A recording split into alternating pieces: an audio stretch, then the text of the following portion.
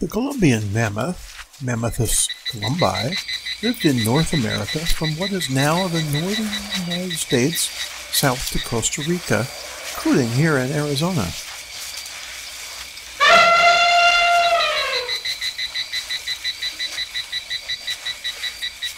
They lived during the Pleistocene from about one and a half million years ago to about 11,500 years ago.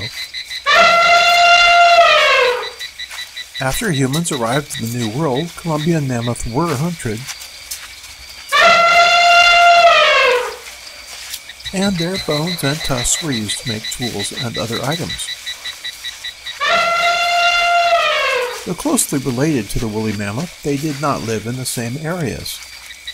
Columbian mammoths also had much less hair than the woolly mammoth,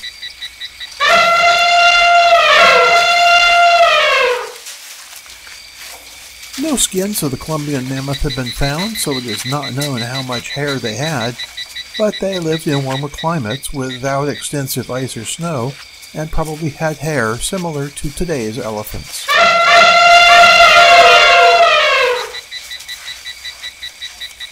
Through genetic testing, though, it has been found that they had reddish hair.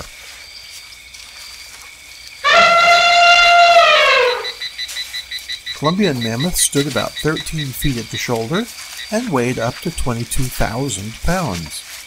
Their diet varied by where they lived.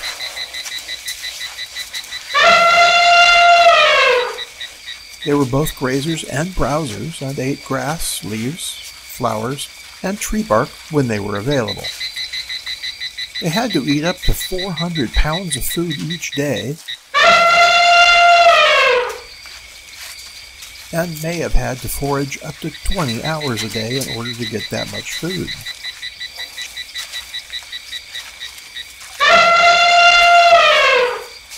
During their habitat were animals such as Glyptodon, saber-toothed cats, camels, horses, buffaloes, and mastodons.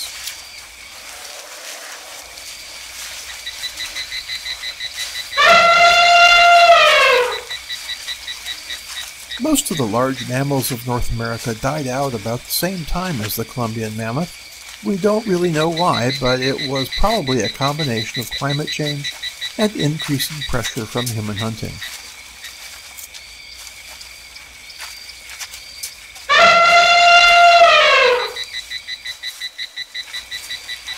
Scientists have managed to sequence the Columbian mammoth's DNA, but there's little hope of ever being to bring it back from extinction.